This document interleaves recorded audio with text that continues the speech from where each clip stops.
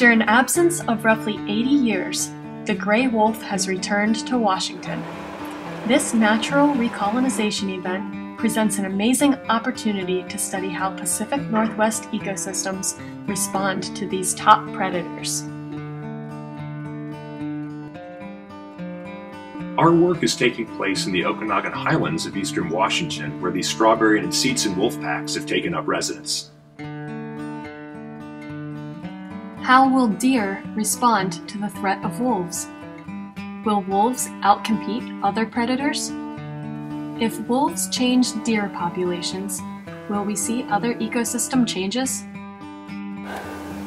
Hi, I'm Dr. Aaron Wirsing. As a professor of wildlife science at the University of Washington, I investigate predator-prey interactions.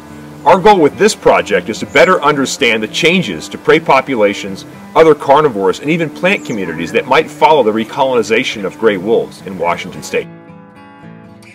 We have a diverse team of collaborators and researchers working together on this project.